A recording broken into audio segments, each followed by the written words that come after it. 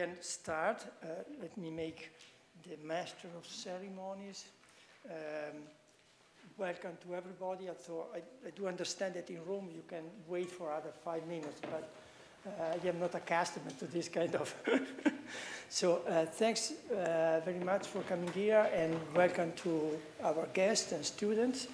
Um, this is a very important day for the School of Government. Uh, we have a very special guest, uh, Dr. Klaus Welle, and he accepted uh, nicely and kindly to come here for uh, giving a lecture on uh, the comparison between the US and the European experience from the point of view of the Secretary General of the European Parliament.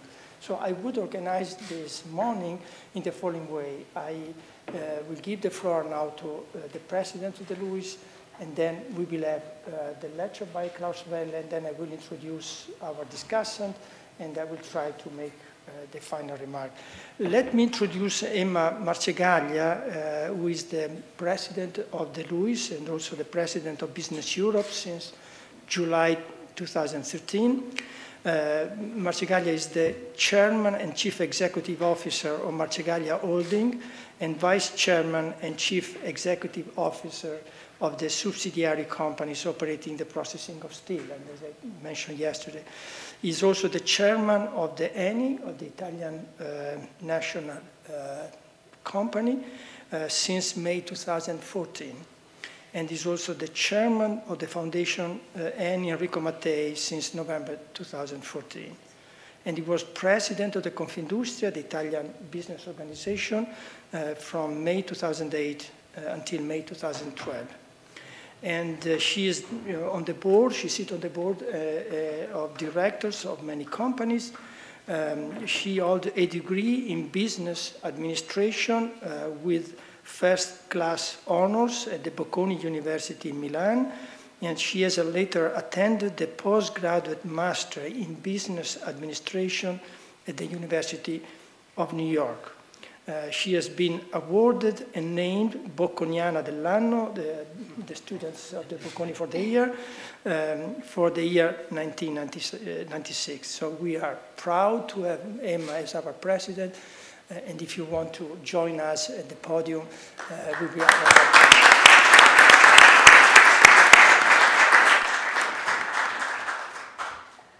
Good morning, everybody.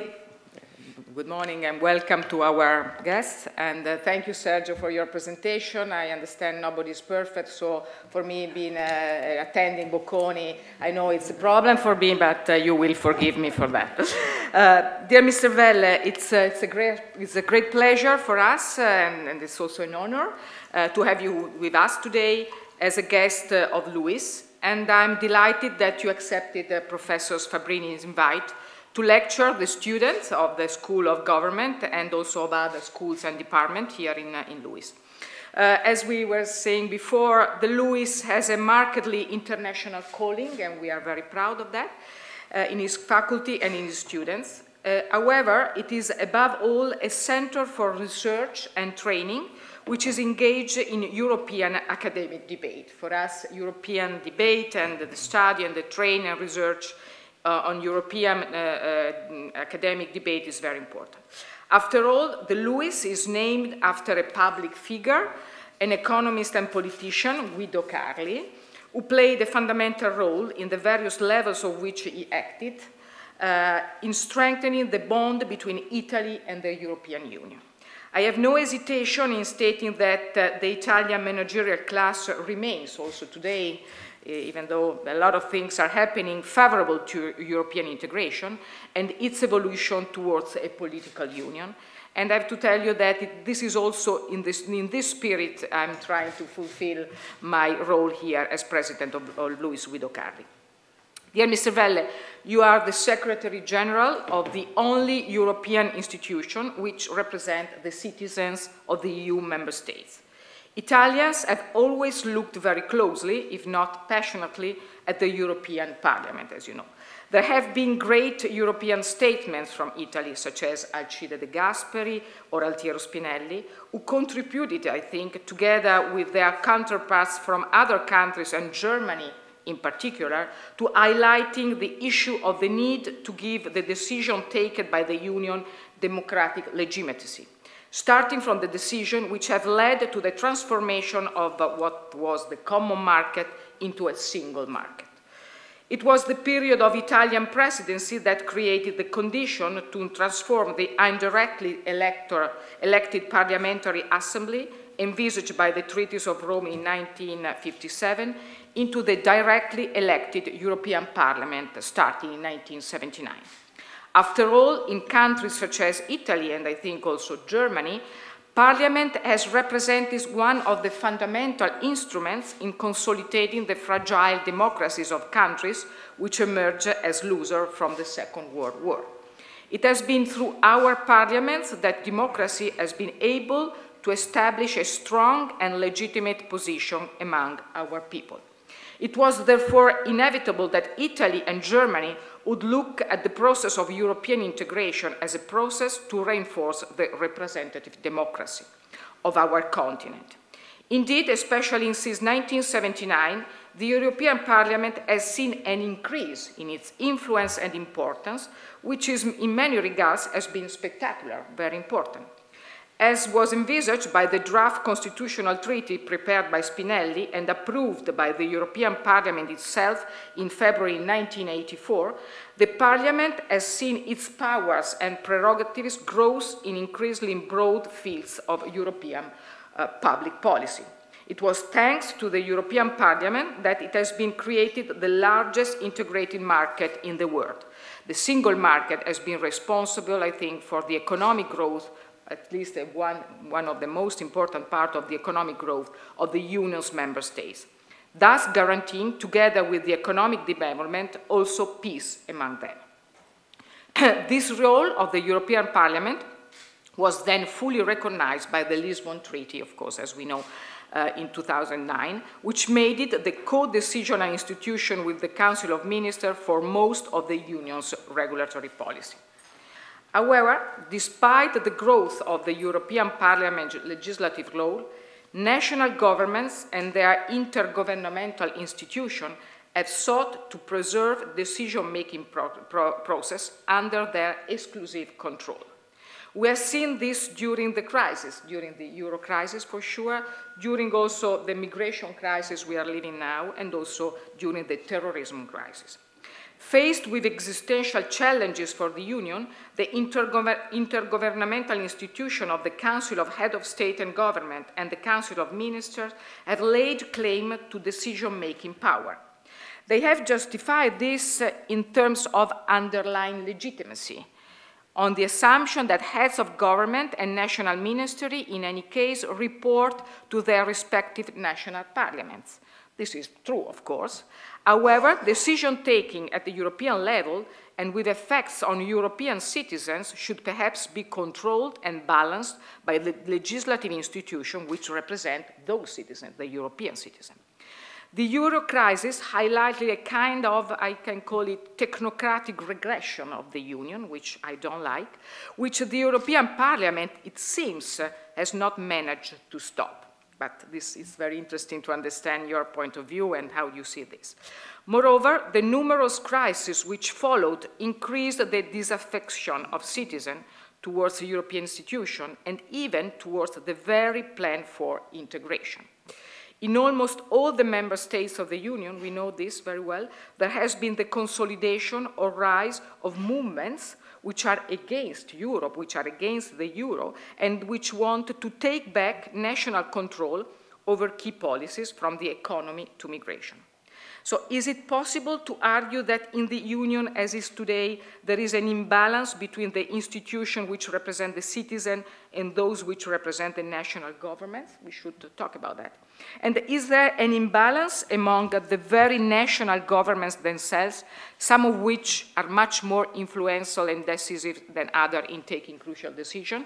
Also, this is, I think, a question at which we have to discuss.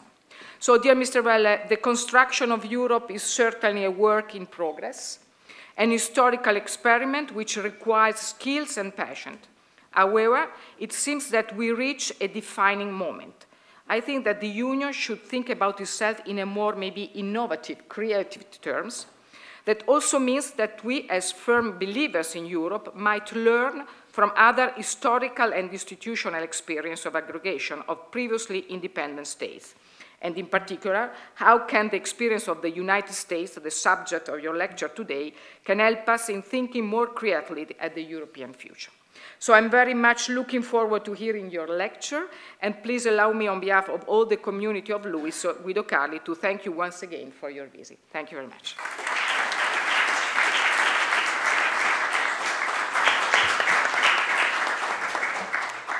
Thanks very much, Emma, for this introduction. Um, I give the floor now to uh, Klaus Welle, to Dr. Welle. Um, let me briefly introduce his incredible life.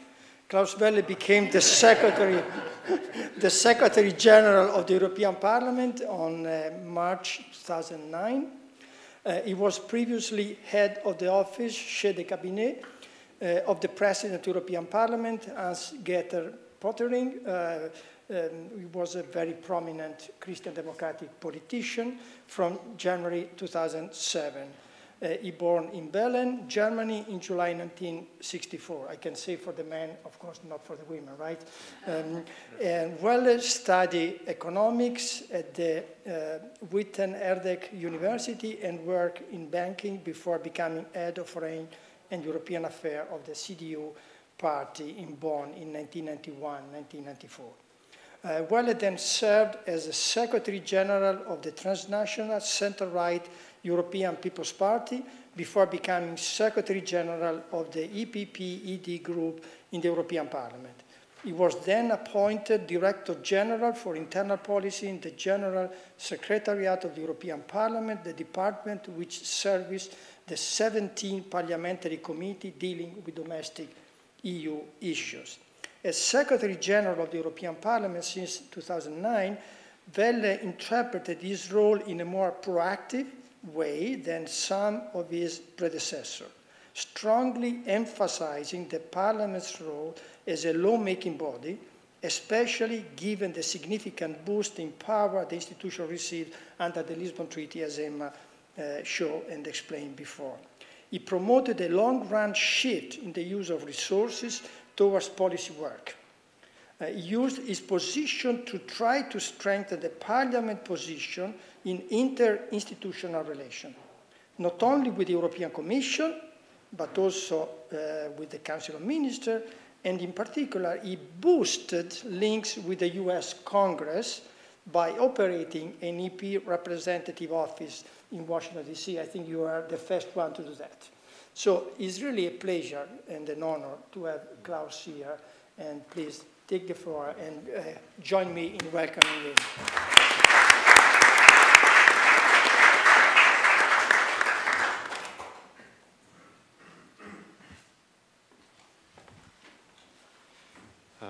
Thank you very much uh, for this very kind introduction. Uh, as you've seen, I've uh, chosen the most difficult possible topic uh, because it's the subtitle of Professor Fabbrini's book. so I'm under incredible uh, control with everything I'm saying here today. Uh, but I've chosen this title because in what I'm doing myself, I've been very much influenced by this way of thinking. So are the European Union and the United States becoming similar? Um, maybe we start with current events. Uh, the most current event is the more or less sure nomination now of Donald Trump as the president of the Republicans, as a candidate for presidency of the United States. Is this an, is this an American event, or is this something which fits into a much larger context? I would argue that this fits into a much larger context. Uh, in political science, uh, you are accustomed to think about cleavages, so conflicts which construct a political system. So if we take a cleavage between liberal and social, liberal in the economic sense, and national and internationalist, I think we can say that what we are seeing for the moment is that the quarter, which is defined by social and national, that this quarter, for the moment, is the growth market for political parties. We have a search for parties which can be described as social nationalists. Uh, we have in Europe Madame Le Pen, we have Mr. Wilders in the Netherlands, we have the major party in Denmark, we have the AFD, AFD party in Germany, and we have Mr. Trump in the United States. Social in the sense that there is a very strong stress on protection. And protection in a nationalist sense, but protection against international and internationalist influence. So this is a movement which is directed against liberalization, against Europeanization, and against globalization. At the same time, identity politics is back. So the Mexican issue, Mr. Trump is um, pushing so prominently in the United States, is mirrored in Europe by reflections about Muslim uh, immigrants. The question is, where is this coming from? Because these positions, of course, have always been there, but why are they suddenly having so much success? My personal view is that one of the main reasons is that we have been living through a time of deindustrialization. We have large parts of the United States and we have large parts of the European Union which have been deindustrialized over the past decade. So this has been concerning blue-collar workers. But digitalization is going far beyond blue-collar workers. Digitalization is comprising, is affecting blue-collar workers, white-collar workers equally. Let's take a current example. Fiat and Google are now promoting together the driverless car. What is the most widespread profession that exists? It's unfortunately not university professor. the most widespread uh, profession that exists is driver. Among all educational backgrounds, if you have a look at people in America, you would say without college degrees, driver is by far the most widespread position. So what is happening if we introduce the driverless car? What is happening to our banking system if banks basically become digital? When you go to Silicon Valley, uh, there is a very proud talk about disruption. The economy is being disrupted. And it's true, our economy is being disrupted. But it's not a disruption that can be limited to a sector of society which is called the economy. It is the disruption of our societies at the same moment and at the same time. Equally, we have, we have received both in the United States and in Europe and in Japan and in China unsustainable debt levels. We rather unproudly share a public debt which is roughly 100% of GDP in the European Union and in the United States. Unsustainable debt levels means that whereas in the past when you had a problem you could try to stimulate growth by additional debt, but nowadays the additional debt is not stimulating growth, the additional debt is just stimulating insecurity. Insecurity about the future solidity of the finance and potentially, therefore, higher interest rates. So that very easy way out, I would argue too easy way out, out of economic trouble, is equally blocked. Additionally, we have a moral, we have a moral problem linked to this because what the debt crisis has done is we have transformed private debt into public debt. Private debt meaning the banks were having business models like, for example, Deutsche Bank in Germany, Deutsche Bank in Germany was proudly saying we want to receive, we want to achieve 20% return on investment. 20% is not so bad. How can you have 20% return on investment only if your own capital is extremely small? Because only like this you have this leverage effect. But if your own capital is very small, it means that in times of crisis, you might lose it completely. And therefore, the burden of that strategy is going on the society overall. So this is a moral problem. If a private, if a private growth strategy or gain strategy or profit strategy finally uh, brings a lot of our member states uh, to the edge of collapse. So there we've also become equal. Uh, we've also become more equal in the way we approach war. Europe, for its own historical experience, already for quite some time has become relatively reticent on verging war. The United States under Obama has joined us there, and he has also added a kind of European-style health insurance scheme, not, of course, as developed as we have it, but nevertheless a move in our direction. So if we have a look at these phenomena, in fact, we could say the EU and the US are becoming more similar for good or for the bad. Of course, probably you will not let me get away with it by a description of current phenomena, uh, but you would like to have a closer look at the systemic level of our uh, societies. Uh, and there, I think, where Professor Fabbrini's book on compound democracy is coming into play. It's one of the three books which has influenced my own thinking the most. The other ones are Wolfgang Leonhard, A Child of the Revolution, which is the experience of a, communist uh, activist in the Soviet Union who was then coming back to GDR.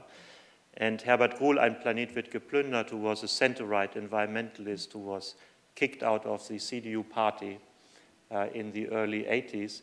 And the first ever meeting I have organized as a youth activist was with him, which led to some nervousness in the party.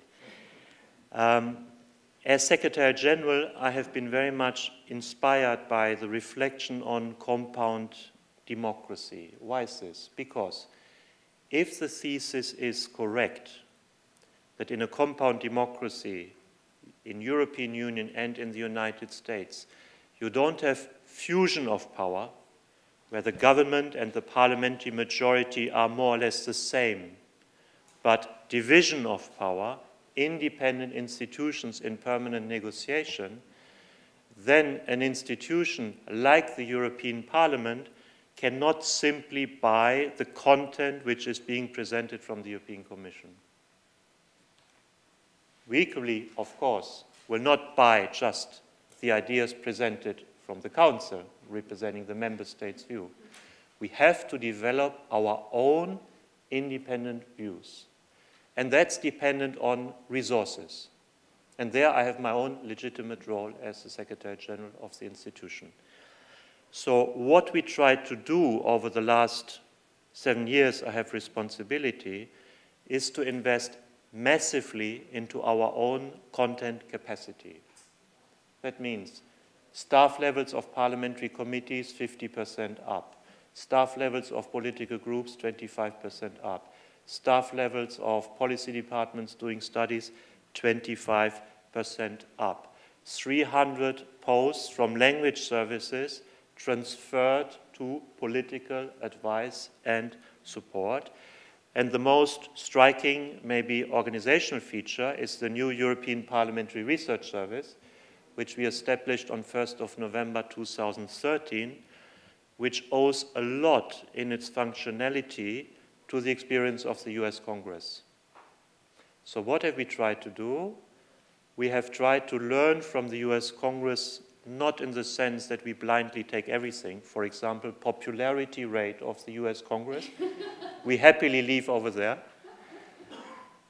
But the US Congress has built its own structure of independent expertise, independent from the administration and independent from the government, through Congressional Research Service, through Library of Congress, through Congressional Budget Office, independent from the Office of Management of Budget in the administration, and through a very close cooperation with the Government Accountability Office, which is the kind of kind, court of auditors of the United States, where 2,000 people are permanently working on performance audits and preparing this for members in Congress. So what we have tried to do is to integrate this, this, uh, this, um, um, uh, this experience in our own European Parliamentary Research Service, which is on a much smaller scale, but nevertheless uh, working in the same direction. By the way, we had last week the visit of Mary Mazanec, uh, the director of the Congressional Research Service, who is now studying what we are doing to maybe learn something for the American side as well. So, when we say compound democracy, what are we talking about?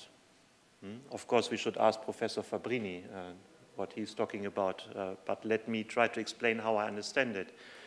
I understand it that you do not only have vertical separation of power between different levels of governance, but you also have horizontal separation of power between different institutions on the federal level. So you don't have fusion of power between a parliamentary majority and the government, the executive, you have a separation between the House, the Senate, the administration, between the Parliament, the Council, and the European Commission. You also have a union of states and citizens. It's not just a union of citizens, but also it's not just a union of states. You have a union of states and citizens, and this setup brings you into a situation of permanent negotiation between the different entities, where the outcome is not predetermined in advance.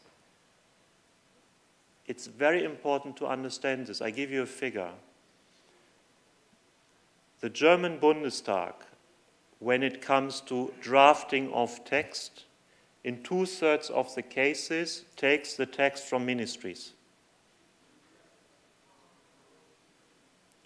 But if you take the text from ministries, you are not developing an independent view because you're in a system of fusion of power.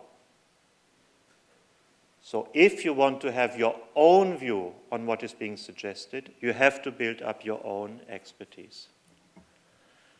Professor Fabbrini also explains that the big republic, uh, which is the United States, is not built on demos.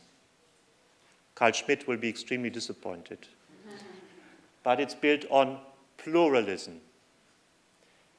And the argument is that in the big republic, you have a much better protection for pluralism. And that pluralism, rather than demos, is much more appropriate for an entity which has all kinds of histories, all kinds of nationalities, all kinds of religious divides, all kinds of sensitivities. It's a very important point because, for example, the German Constitutional Court is making the argument that unless you have demos, you can't really go beyond a certain point. That's making a, Europe, a German experience an absolute argument for Europe, but the case of the United States is demonstrating that this is far from an absolute necessity. This model of governance, compound, compound, the compound republic, compound democracy, has another very important effect. Because agreement is not a foregone conclusion, because you have to convince each other, because decision making isn't easy, you leave a lot of space for civil society. You leave a lot of space for civil society, and you leave a lot of space for individual liberty. In our case, we leave a lot of space for individual member states. So it's a system of checks and balances. Nevertheless, when all of this is true, we are confronted with a major puzzle. And that major puzzle is how is it possible that systems, one, which is a presidential system in the United States, and then the European Union system, which is not a presidential system, how is it possible that nevertheless both share similar features? And obviously, the European Union is not the United States. But still, there are some striking similarities to the United States in the late 19th century. To start with, the United States in the late 19th century had a budget of 1% of GDP. The European Union has a budget of 1% of GDP.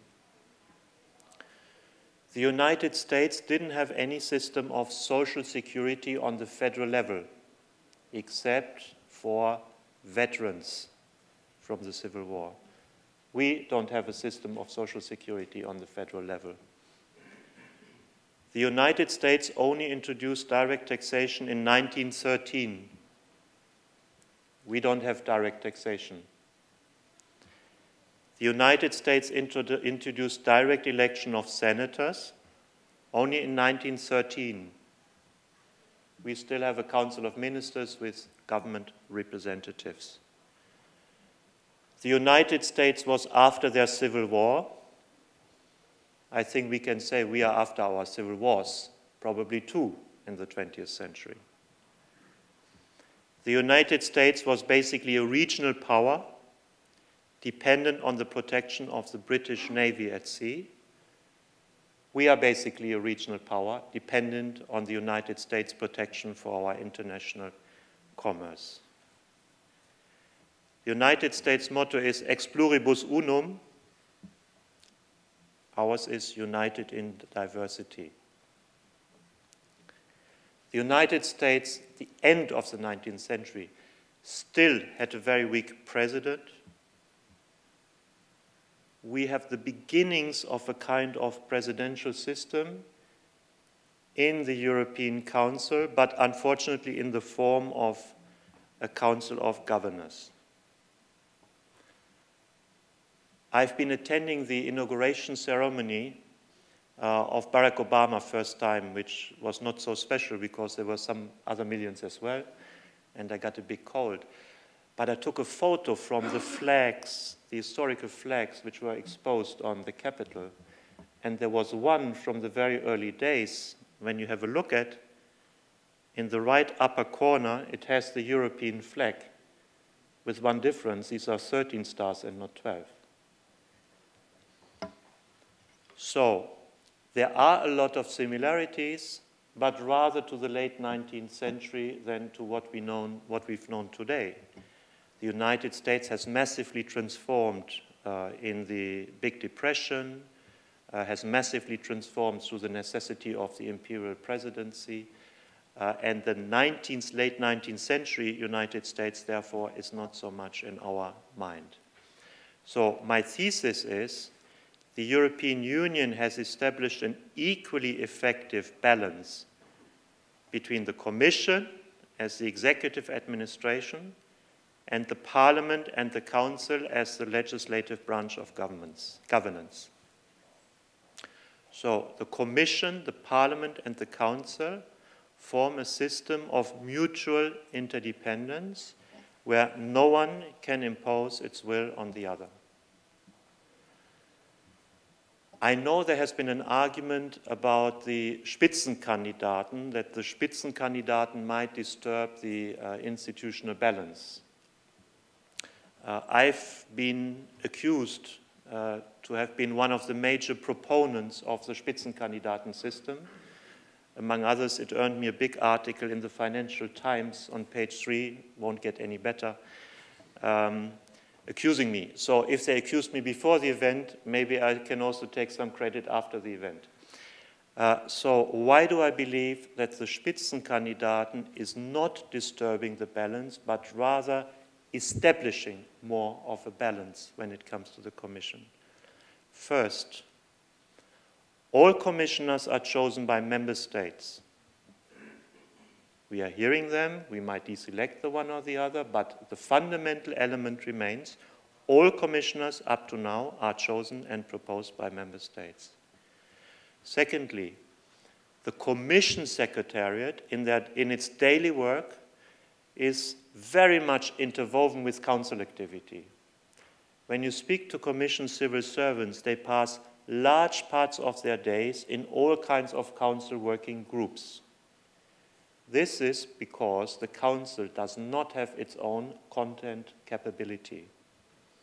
Third, when a commissioner wants to have a change through, a piece of legislation through, the main obstacle normally is in council. So he will have to invest a lot of his work in convincing uh, on the council side. And let's not forget, the president of the European Commission is a member of the European Council.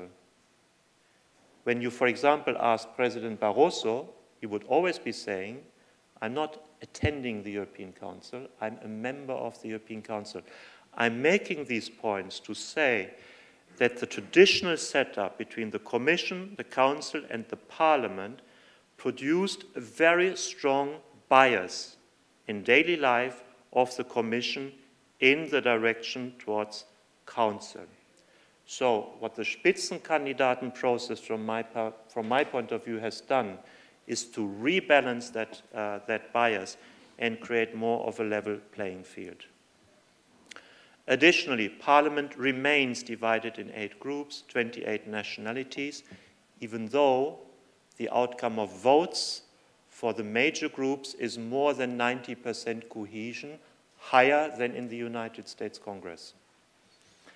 There are very few incentives and sanctions to lead to a coherent uh, voting in Parliament or behavior in Parliament, you are dependent on the argument.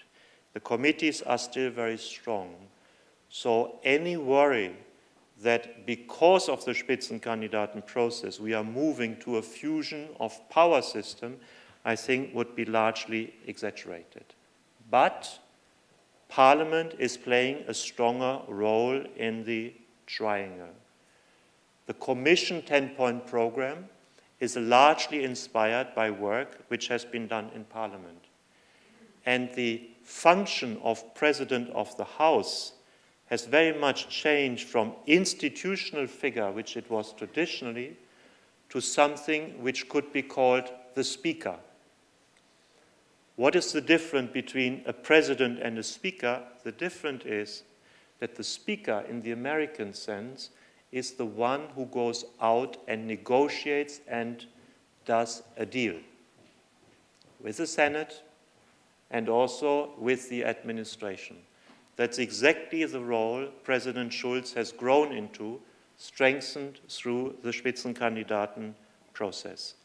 And what we have achieved is a commission leadership much more sensitive for citizens' concerns. President Juncker will regularly remind the messages he has received from citizens because he had to go out and confront them and debate with them before he took office. And he's emboldened by a much more popular mandate.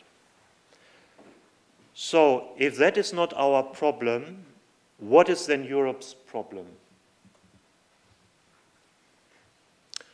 I think institutionally, the challenge we are currently confronting is that by necessity, which means by objective problems, we are forced into a, into a transition from legislative machine to complementary executive capacity. Which means at the same moment that we go from a low level of intervention to a high level of intervention from the point of view of citizens. This is a functioning which is completely different. When we traditionally passed legislation, it was perceived in the member states very often as national action. It was transposed two or three years later. Uh, it had a huge cumulative effect, but not the individual measure. So it was perceived as low-level intervention into people's life. But with the euro crisis, there was A, the necessity to set up a fund of 700 billion, and secondly, to demand many member states to take the necessary decisions for structural reform coming from Brussels. That's not perceived as low level of intervention, that's perceived as high level of intervention, having direct effect on people's life, on pension system, on social security system, on taxation level. Equally now, border control. We are moving towards complementary executive capacity.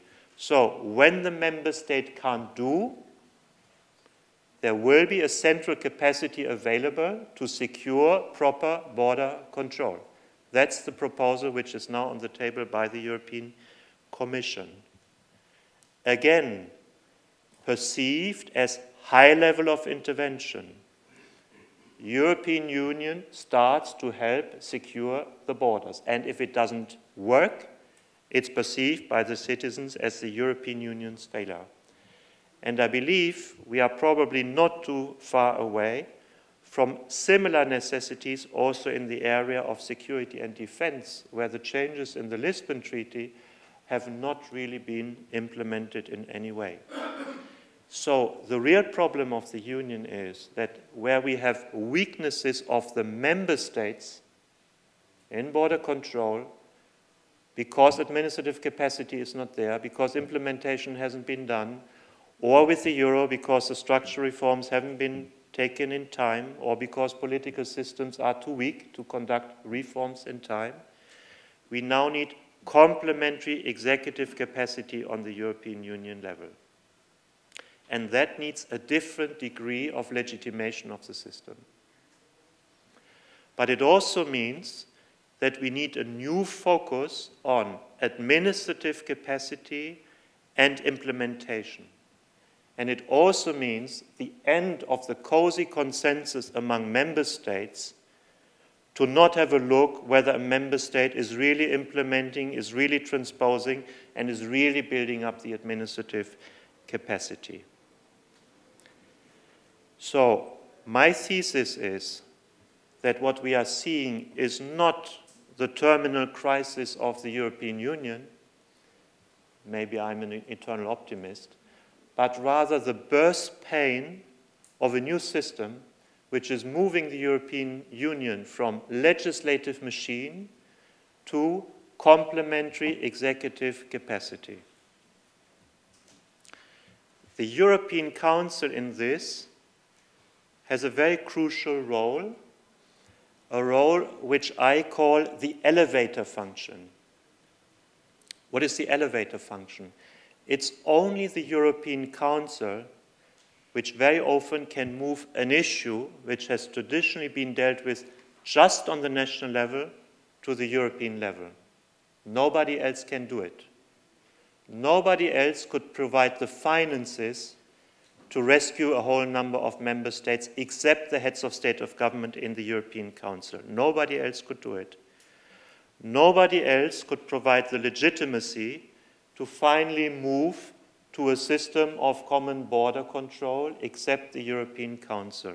So the European Council has an essential role, a critical role, a crucial role, and a positive role in elevating issues from the national level to the European level, and that in itself is a step forward in integration and has to be positively recognized. Of course, in the second phase, we find out that the transaction costs of dealing with those issues intergovernmentally are far too high. Because to reach consensus among 28 is very expensive.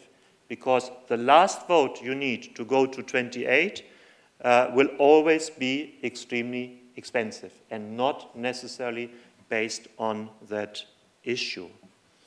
So it's an intermediate step of integration, which in a second step needs for business as usual procedure, the integration into the community system. And that's our common responsibility and the responsibility of Parliament and of the Commission to facilitate that second step. The problem of the European Council, though, is that it's not a president, but a governors' council in the language of the United States. It's the 28th head of state and government who are meeting, whose responsibility is towards their own country and not towards the others. So they have to defend their own national interest. That's their responsibility. But to provide guidance for the European Union, we need more than just following the own national interest. And worst of all, the public image is that we are back to traditional politics of strong states against weak states, big states against small states. And those who are at the receiving end of difficult decisions have difficulties to accept the legitimacy of decisions coming out of this construction.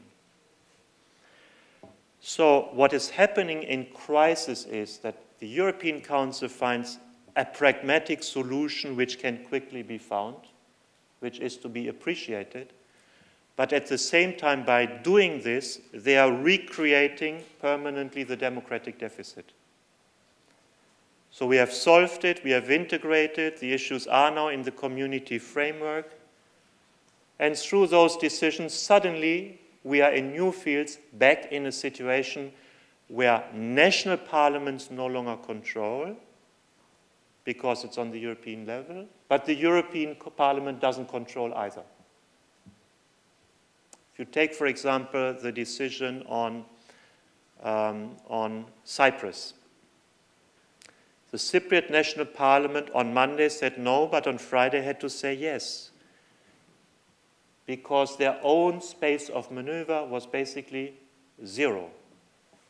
So, national parliaments in these situations can no longer effectively negotiate and defend their interests, and therefore the democratic control and the democratic decision making has to be at the level where the decision making is taken, which means at the European level and therefore at the level of the European Parliament.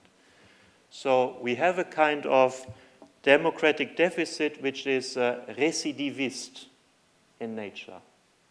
You solve it and it permanently reoccurs with new issues being moved to the European Union level.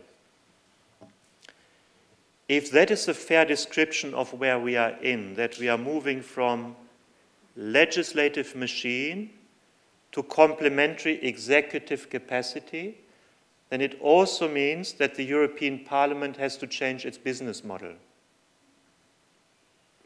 We cannot just be concentrated on passing amendments to legislation, but we need to develop a business model, and I dare to say we have developed a business model which is much more closely focused on issues like scrutiny and delivery of results. Scrutiny and delivery of results. By the way, very strongly also in the United States Congress. And therefore, we have to take the whole legislative cycle as our area of uh, business, from agenda setting to consultation to amending to scrutiny. So we have to accompany the whole legislative life cycle uh, and then uh, go back in legislation and scrutinize political decision making on the European Union level as well. A lot of this functionality has been established over the last two and a half years uh, under a concept called completing the legislative cycle. It's a concept I've proposed two and a half years ago with 32 steps where we, a little bit like Toyota, try to do total quality management. Where are we not existent? Where are we too weak? Where have we got to improve? Where have we got to set up new organizational entities? Where have we got to set up new processes in order to be able to not be limited just to amending legislation? If we want to put this idea into a wider concept, a wider context, we could say there are uh, four strategic ways for democratization. The first is the first is that more and more issues had to be submitted to Parliament. That maybe the first was maybe the first phase. More and more issues had to be submitted to Parliament. That could be called quantitative democratization. If you have a better word, uh, don't hesitate. In a second step, in a second step, the quality of our engagement was improved. So we were not only heard, we could not only give an opinion, but we moved to decision, equal decision maker with the council. So completely different leverage. That, that process can be called qualitative democratization, not just an issue of quantity of issues, but of our qualitative involvement in the process. I think where we are currently, try, uh, where we are currently trying to go to is that we want to play a role over the whole policy cycle. So it's not about more issues, it's not about more quality of involvement, but it's about enlarging our involvement and our leverage over the whole process from agenda setting to consultation to amendment to scrutiny. This could be called democratization in time. Not only 18 months, but the seven years that normally is taken for a legislative process, plus scrutiny of executive decision making. Of course, as a German, I have to be inspired by Einstein. So, when there is democratization in time, we also need democratization in space. Of course, always has to be time and space. So, the fourth element where Parliament can gain leverage and where democratization can be strengthened, I would like to call democratization in space. What is democratization in space? If it is true that we are in a system of multi-level governance, if we want to avoid the word federal, if we want to avoid the word federal, we can say we are in, the, we are in a system of multi-level governments. But if we are serious about multi-level governance, it means that the democratic quality of the process is not just decided on the federal level of governance. The democratic quality of the process is decided on all levels of governance. Therefore, we have not only got to be interested in what is the leverage we have on the federal level, but we have to be interested what is the impact that democracy can have on all levels of governance.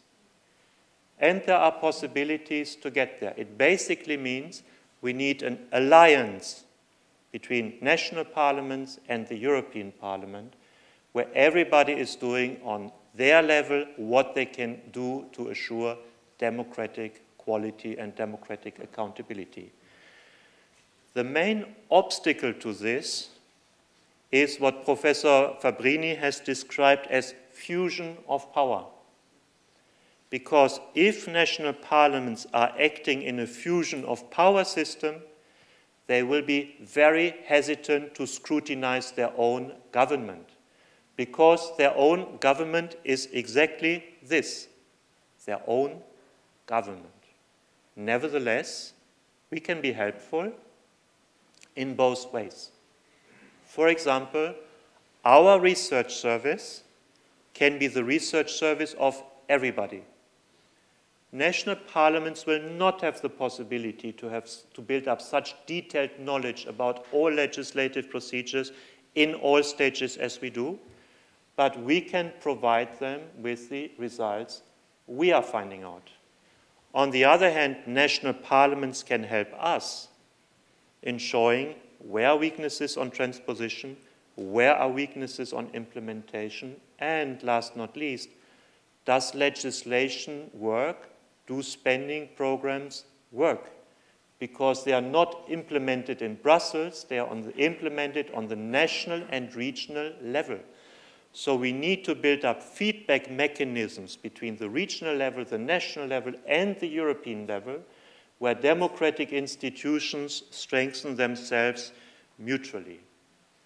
So what's linking the system in time and space is expertise.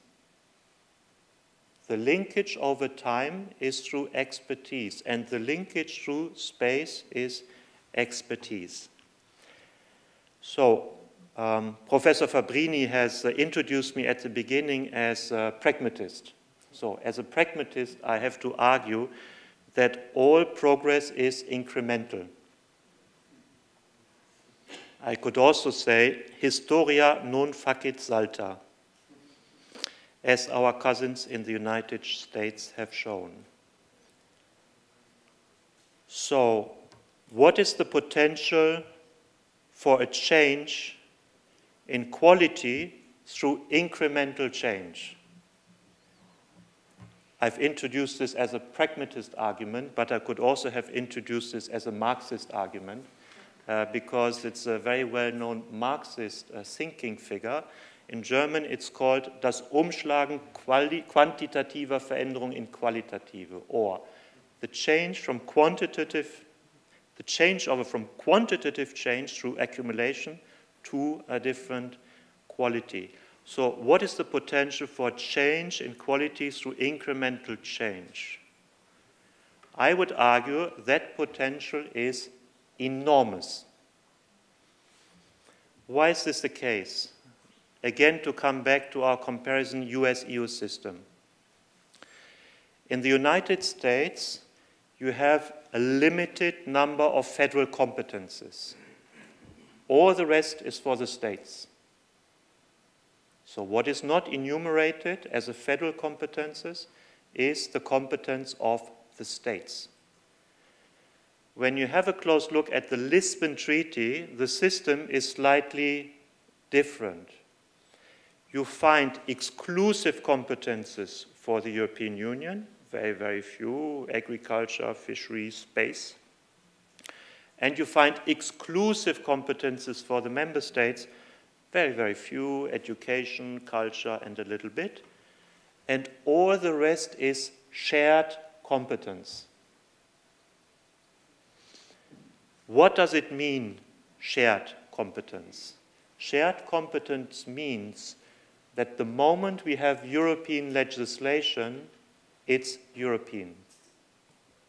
The moment the European Union legislates, the member state cannot any longer legislate on the same issue. That means basically the Lisbon Treaty has handed us over a huge white canvas which can step by step be filled. So what the treaties are doing is they are organizing a potential transfer of sovereignty. Potential because to realize it, you need to legislate. So, legislation effect is the real and effective transfer of sovereignty. And therefore, the development potential is through legislation on the basis of the treaty in the area of shared competence. We are not dependent on sovereignty transfer in most areas through treaty change. So the strategy should be to systematically identify the unused potential for European integration in the treaties chapter by chapter. I'm not a lawyer and I haven't studied the law, so I can allow myself a certain uh, liberty. Um, I'm, uh, I'm, I'm a former economist, so I have a different look at these things. So if, I, if you allow me a certain liberty and a certain lightness, then I would say that what treaties do, basically, is 50% they codify behavior that has already changed. Which is why this makes its way into the treaties, because everybody can agree, because we are doing this already. And the other 50% in a new treaty are things which make it into the treaty, but the member states have no intention to ever apply. So the day after treaty comes into force, the reality has not very much changed. You have uh, the 50% which has codified, but we've been doing it already, and the other 50% where member states have no interest to ever apply this and uh, make this uh, reality.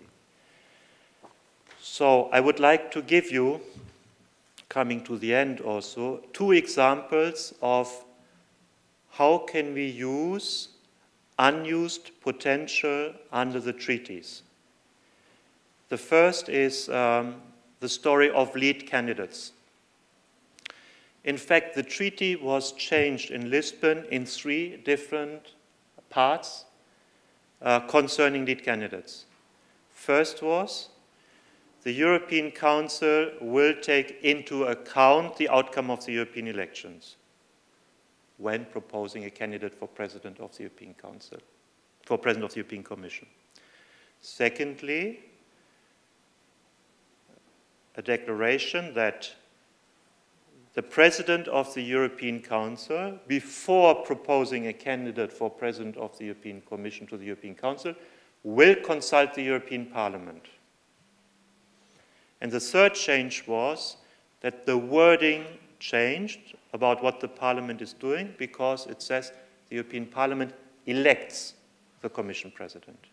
So the text was changed in three different elements. What is the immediate consequence of this? What is the right answer? The right answer is nothing. Huh? because it belongs to the 50% which are changed, but where, of course, the member states have no intention of ever implementing this. But is it logical to change a treaty in three different areas and then argue that nothing should change in reality? Probably not. So there was the intention that things should change. How exactly that's a question for political entrepreneurship. Hmm? You can have no change, you can have little change, or you can have a lot of change. I think Parliament and European political parties showed a lot of political entrepreneurship. Because what was coming out of this article was not a foregone conclusion, but we, changed, we used it in a way uh, to that it produced its maximum effect, and my argument would be balanced the, pro, the overall process of composing, composing the European Commission. I give you a second example. That's programming. I know programming sounds boring. Who is interested in programming? Nobody who has his uh, mind uh, in good shape. Uh, but uh, I would like to cite from Article 17 of the treaty. So Article 17 of the treaty says, in one sentence, the Commission initiates the annual and multi-annual programming of the Union with the view to reach interinstitutional agreement. What does it mean? It's a clear case for the second part of the 50%. If you would have asked the, the Commission, they would have said, nothing. It means nothing. But it's fundamental and it's an issue of constitutional nature. Because if the European Commission initiates the annual and multi-annual programming of the Union with the view to reach interinstitutional agreement, which means with the Council and with the Parliament, then obviously the agenda setting function of the Union shall be shared. That doesn't mean that the Commission has not the right of initiative. Of course they have.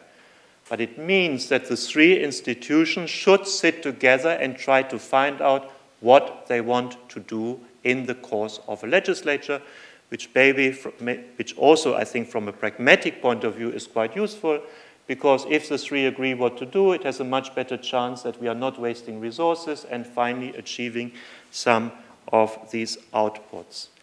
So, this is basically an administrative issue programming, multi annual programming. But you can see that administrative procedures can cause changes of a constitutional nature. So, therefore, I belong to those who believe that we have to fully explore the potential under the treaties. I know there are very different motivations among those who want to change the treaties. There are very good ones because people want to advance the case of Europe. There are also those who don't want to take their responsibility under the current treaties and therefore try to define the potential as small as, small as possible. There might also be a lack of imagination, but my argument is that the potential is largely there, but what is needed is the political courage to use the potential under the treaties to the maximum. So, if we think it is impossible, then it is impossible. So, I would encourage to lift the millions of opportunities which are existing in the treaties. Thank you very much.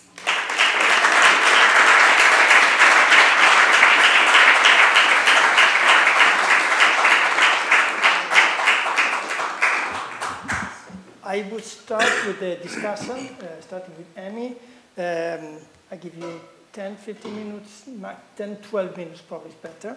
Uh, Amy Kreppel is a Jean Monnet chair uh, ad personam and the founding director of the Jean Monnet Center of Excellence at the University of Florida, Florida uh, since 2007.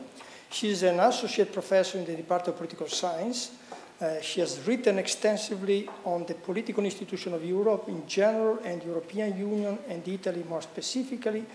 Um, her publication include a book on the development of the European Parliament and supranational party system, uh, published by Coop, uh, Cambridge University Press, in 2002. And she wrote many, many articles in a variety of journals. Um, uh, Amy is a founding member of the Transatlantic European Parliament Research Group and as a public policy scholar at the Woodrow Wilson International Center for Scholar in uh, DC. Uh, she is also a visiting professor, regular visiting professor at the Luiss Guido Carli uh, School of Government. She is currently uh, co-editor of the Italian Political Science Review. She studied when she was a graduate, undergraduate student in Florence. Um, she is the president of the Conference Group on Italian Politics. Uh, she is a friend uh, of all of us and of this country at the same time. Uh, and please, if you want to go to the podium. Oh, as you like. You, you are, we are a liberal uh, university.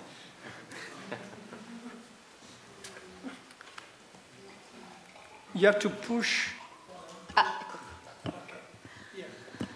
Um, thank you, Sergio, for the, the kind welcome, and uh, thank you, Klaus Welle, for a very interesting, interesting talk. It's always um, a challenge to, to give uh, comments on the, on the fly, as it were, but I, we're very fortunate, actually, because I think, um, aside from the embarrassment of the mention of Trump, we actually agree on, on, on, quite a bit. Um, I, I, first met Sergio a long time ago because of a paper that I delivered which made this comparison between the US and the EU. And I'd like to focus a little bit actually on something that I think I discussed during that paper way back when, which is the character of the evolution of the, of the systems of government in both cases.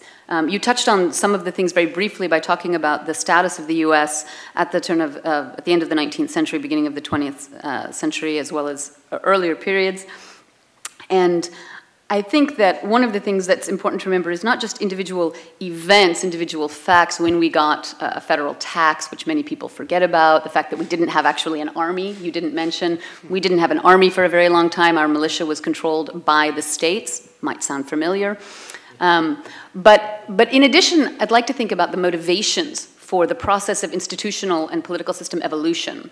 Because when I teach on the European Union uh, in the United States, I often start with uh, thinking about the quote, peace in our time, which, while not referenced to the European Union initially, I think could be now applied to the European Union and to the idea that the goals of the European Union were, bring together, were to bring together countries that had spent centuries, literally centuries, fighting, right? The current period of peace between EU member states is the longest since the Treaty of Westphalia. So anyone who has any doubts about the success of the European Union really could just stop there. You could just put a period and stop and say it's been a success at that level. We, we often forget the caliber, especially in America, but I think even now sometimes among the youth in Europe, the caliber of, uh, of death that occurred, uh, the monstrosity of World War II and also World War I. It was an interesting side note that in the French vote on the, the failed vote on the constitutional treaty, the one group that was supportive across the board for that treaty, whether it was educated or uneducated, rural or urban, um, rich or poor, were people over 60. People over 60 in France, regardless of anything else, voted in support of that treaty. And that's because they remembered Europe's history. And if we remember Europe's history, we have to think about the context and the, the incredible bravery of those people trying to design a political system that was going to bring together countries that had spent 400 years gleefully killing each other. There's not a lot of trust in 1951 or even 1957 between Germany and France. And so when the decision happens to start to build a political system, the idea of creating a fused power system is completely impossible to conceive. Fused power systems do nothing but consolidate power. Right? In the ideal type, that of the UK, with a single party government and a single prime minister and strong parties, you have an incredibly hierarchical system in which, party, in which power is really, really concentrated at the center. You have clear winners and losers. There's a government opposition dichotomy. And in the context of a series of countries that have spent all of this time fighting each other and concluded fighting just a few years ago, the idea of either France or Germany or Italy or the Benelux countries or any of the countries that joined afterwards, joining a union in which power would be so consolidated, in which they would clearly be losers sometimes in questions that were not only low politics but often high politics, is simply inconceivable.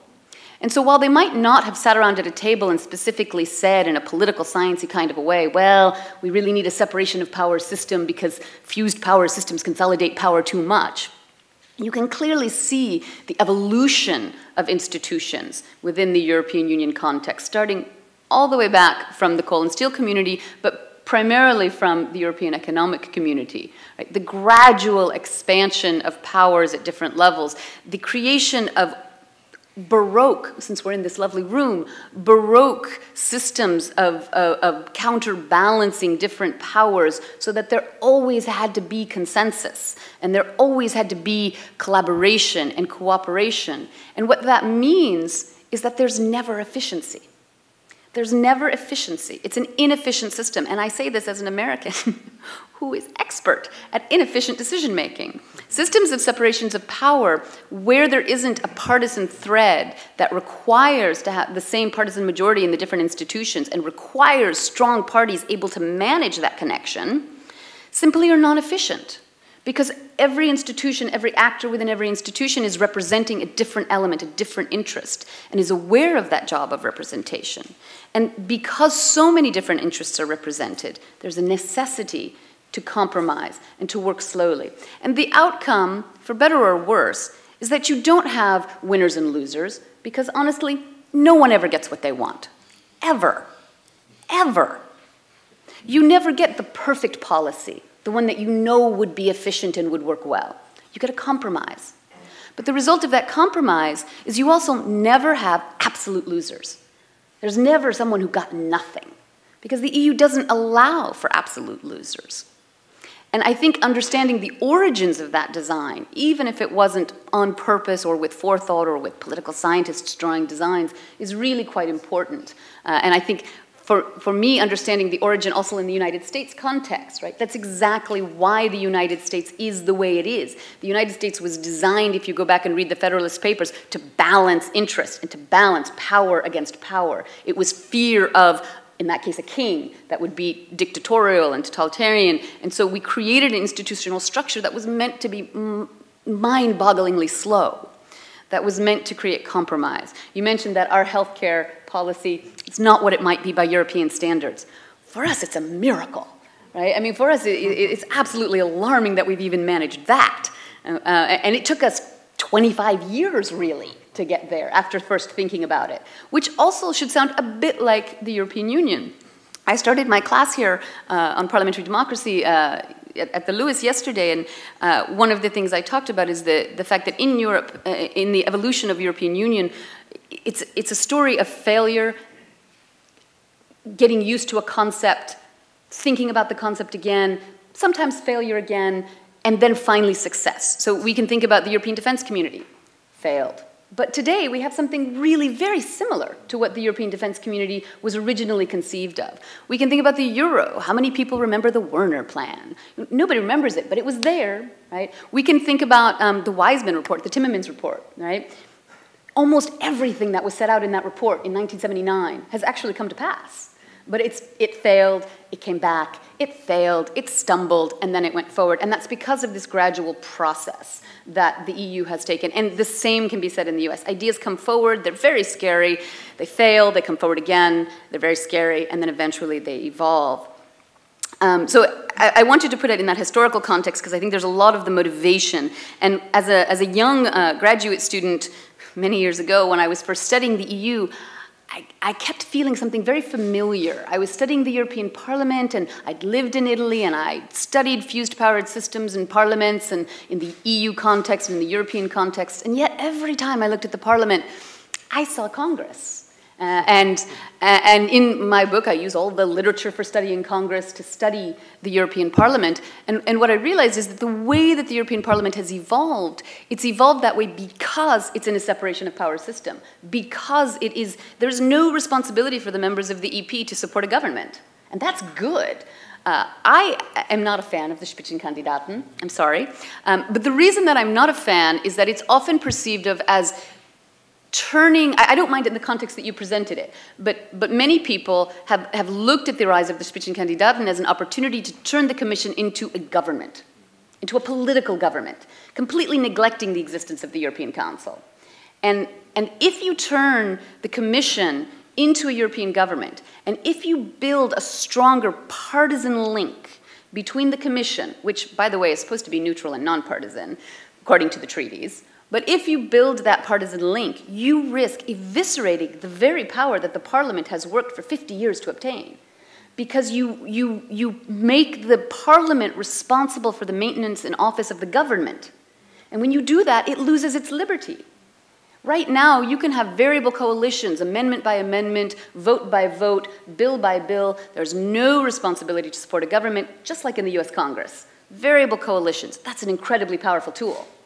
It's an incredibly powerful tool. The government doesn't stand or fall. There isn't a crisis. There isn't upheaval. They're free to vote the way they want to vote.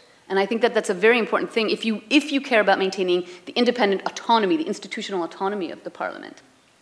So if I could dream, if I could be king, I'd love that. Uh, if I could be king of the EU, um, what I would do, or write the next treaty by myself, um, what I would do is not get rid of the idea of a Spitzenkandidaten, but shift it. If we're going to have a speaking candidate, and if we're going to have a leader in Europe that is linked to the citizens, have it be the president of EUCO, have it be the president of the European Council. I know, I'm sorry. No. um, be, because, as you pointed out, the European Council, as it's become institutionalized, since its informal origins in the 1970s through brief mentions in, in Maastricht, to Lisbon, where it's finally an institution, it has assumed the primary executive political function of agenda setting, of, of high politics, of foreign representation, all of these aspects. And, and there is no link between citizens and their executive at the EU level. We have it in the legislative level. An indirectly elected second chamber is fine. Germany seems to do just fine with one. You could change it like in the US, although I, I, think there's a reason to keep it indirectly elected, actually. I think the US lost a lot of state representation when we went to direct election of the Senate, even though I, I understand the reasons why we did it. But I think having some way for citizens to participate in the selection or in the, the management or the oversight of the political executive of the EU would really help in building this connection, would help in developing that, that executive proactiveness that you're talking about, right? That moving away from just the legislative proactiveness. And so if, if I were king for a day, um, that's, what I would, that's what I would do. And I, I think I'm getting the sign to leave it there, so I'll leave it there. Thanks very much.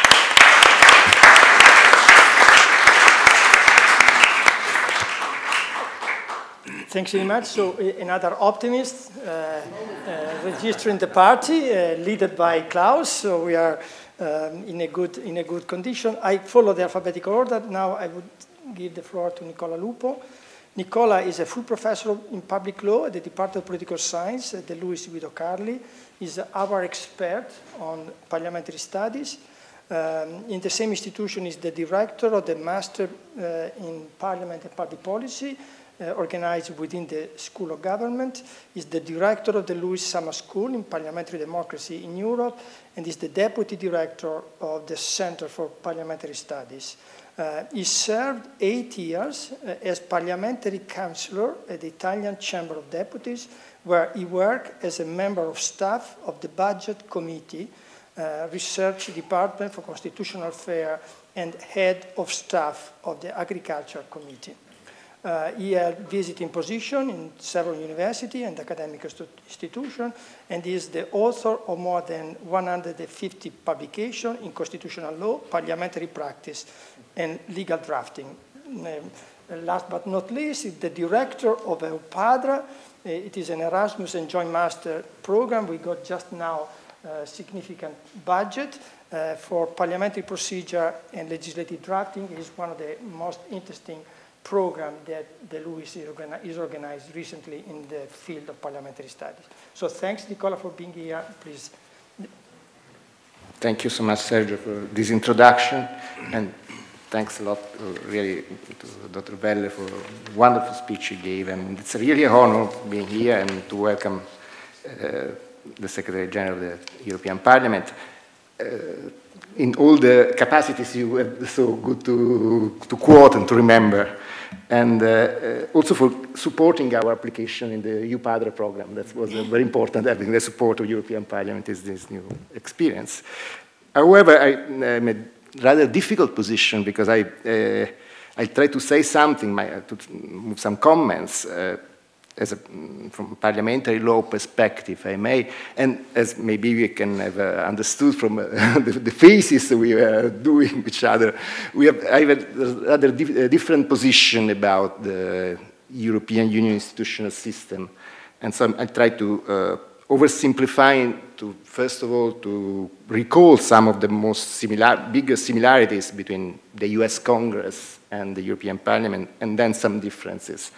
And I would say uh, something in conclusion about that fusion of power system and let's say about the virtues of the fusion of power systems in Europe, possible potential virtues of this of fusion of power, as you call it, but that's it more or less related to political responsibility, in my opinion. But let's try to do it uh, in the, just in 10 minutes.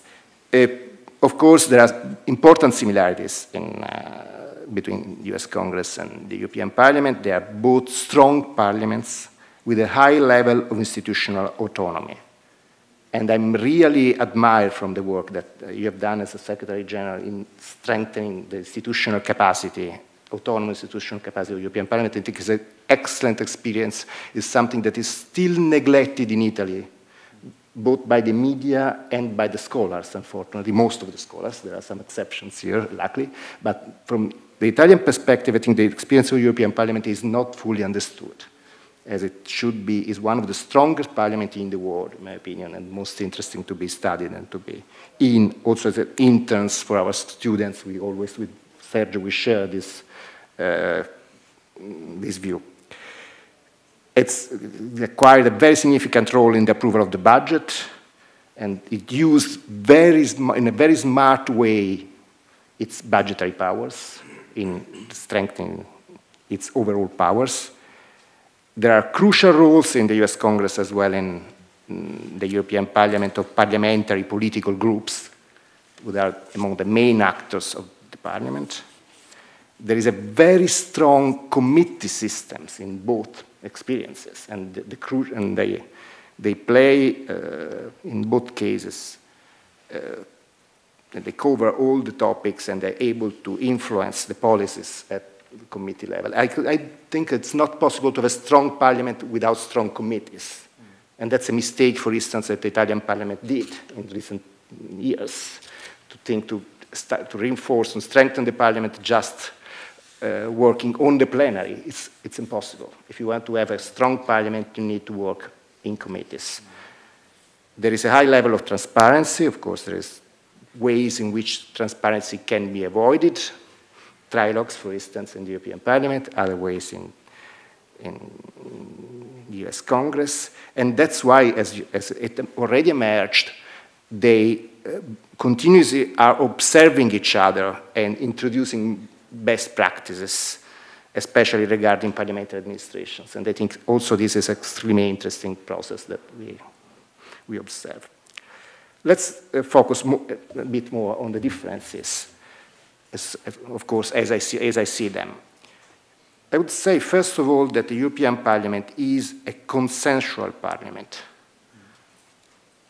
traditionally, has always been, and you understand its dynamic mainly focusing on the consensus, uh, most of all among the, between the two main, most important political groups. While Congress has become, especially in the recent uh, decades, clearly a majoritarian parliament, a divided Congress, as US uh, scholars uh, notice. I would say also some differences about the, the, the role of the European Parliament President and the, the US uh, Speaker, especially the Speaker of the US House of Representatives if you want, uh, uh, uh, from a study we have conducted with Luigi Gianniti, uh, Council of the Senate, uh, recently about the uh, European Parliament Speaker, the, the, Speaker of the European Parliament, the, the President of the European Parliament, sorry, is more powerful in external relationship, both intended as interinstitutional relationship and foreign relationship with member states and with their countries. But it doesn't exercise an such an important role in managing internal daily activity of the parliament, while the Speaker of the House of Representatives is the main. Uh, yeah, some, something is changing, and uh, that's true. But the, the, the, role of the Rules Committee, for instance, in the US Congress, mm. is absolutely crucial. And there is not some, anything similar in the European Parliament, because the parliamentary groups are still there playing the main. But of course, some, everything is evolving, and the current president is playing, yeah. is trying to play an important role also in, uh, in the internal dynamic of the parliament. And most of all, and we arrive to the, uh, the point of disagreement we have in, uh, with Sergio, with, uh, also with uh, it, clearly the, the Congress has no confidence link with the executive, while we could reason of some kind of confidence relationship between the European Parliament and the Commission up to a certain extent, especially after the Spitzenkandidaten experience, in my opinion. I, of course, there are, it's debated, could be, both uh, theses could be argued and have good reasons for being argued. That's my view, at least. So I don't want to, not the arguments to, to, to reply to you. What I'm, uh, what I'm asking, and that's really a question, a real question I, I want to ask you. If we adopt a different reading of the problems that democracy has in the European Union, I, I don't like the expression uh, democratic deficit. Uh, because if you, if you see the European experience from a global point of view, I don't think in Europe we have a lack of democracy. On the contrary, we have a very dynamic democratic life. Maybe we have even, up to a certain extent, excuse me, too much democracy. We are conditioned by referendums everywhere. A local election in Germany is able to, to paralyze the European Council sometimes. So we have not a problem of deficit. We have a problem of disconnect between what is decided by the very fragmented and therefore very powerful European executives, which are composed by, of national executives as well as European bodies and European institutions, and the citizens. Because the traditional way of connecting the two is exactly the political responsibility through elections and through confidence relationship of the elected parliament and their own government. These mechanisms don't work anymore or are suffering because of the European dynamic. The rhythm of the, the mm, representative parliamentary democracy have been altered because of the European Union and the mechanism of political responsibility. That's why I'm asking, but it's really a question. Why don't we rely on what is the European tradition, which is the parliamentary form of government, if you want the fusion powers? We have in 27 out of 28 member states of the European Union. The only exception is Cyprus.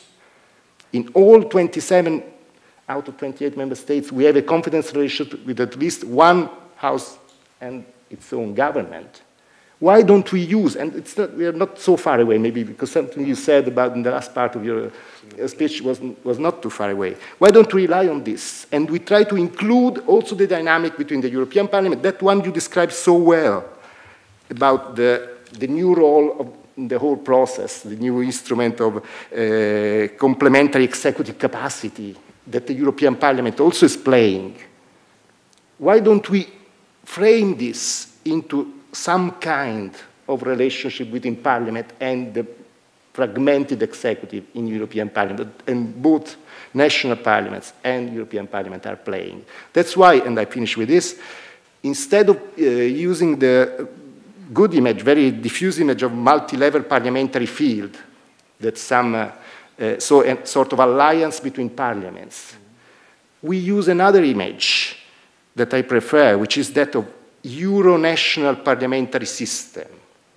Why we are not talking about not seeing the parliament as autonomous institution, but the, all the parliament as linked, and they have to do each one its own job in this system, which sees links, or which includes, absolutely includes the executives, which are staying the main player of, in the game, but needed, need to be linked, each one, to some kind of parliamentary responsibility to be responsible, to be attached to the citizens. That is, this is my question. Thank you. Thanks a lot.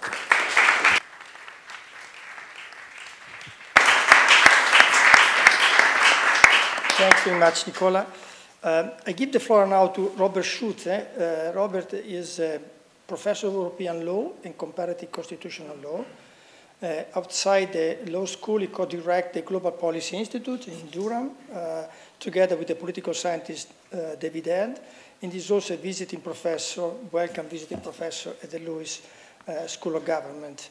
Uh, uh, Robert is a constitutional scholar with a particular expertise in the law of the European Union and comparative federalism. This is also uh, why you are welcome in this table. Uh, he joined the Durham Law School in 2005, where he teaches European constitutional law and comparative constitutional law. In the past, he has been visiting professor or fellow at the British Institute of International and Comparative Law in London, the Center for European Legal Studies in Cambridge, the Fribourg University in Switzerland, the Institute of European and Comparative Law in Oxford, and the Max Planck Institute for Comparative Public Law and International Law in Heidelberg. He has also been a Fulbright Schumann Scholar at the Center for European Studies at Harvard, and is a Fellow of the Royal Society of Arts. Um, Robert has published extensively, and his work has been translated into a number of languages. He's one of the co-editors of the Yearbook of European Law and the author of the two textbooks, European Union Law and Introduction to European Law. So uh, I think you are the qualified person for discussing about comparison between US uh, and European as well as the other uh, colleague around this table. Thanks, Robert. Thank you, Sergio.